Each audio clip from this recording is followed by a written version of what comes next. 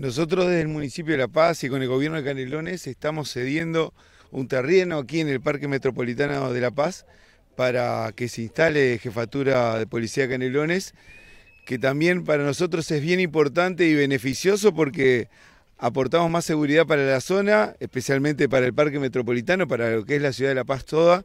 Y bueno, estamos trabajando en prevención del delito juntos y ayudándonos mancomunadamente, aportando desde el municipio nuestro granito de arena. También vamos a aportar equipamiento para que se logre la instalación de esta dependencia aquí. Sí, sin duda es un espacio que ha nucleado muchísima gente.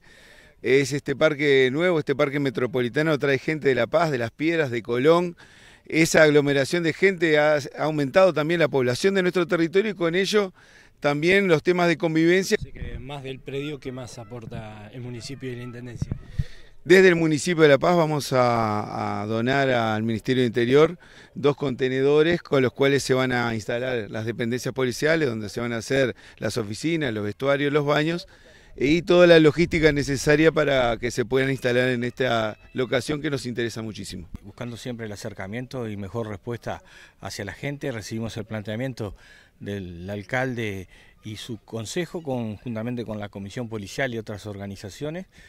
De inmediato lo analizamos y lo, lo aprobamos y elevamos al Ministerio del Interior quien, quien dio su aprobación para la iniciación del proyecto. que el equipo PADO se, instalaría acá para vigilar también no solo esta ciudad, sino las piedras. Sí, sí, sí. Se movilizaría desde aquí este, y en contrapartida desde la zona del Comargen, el grupo de respuesta de Radio Patrulla este, saldría de Comargen, este, dándole mejor agilidad a los servicios y una mejor respuesta.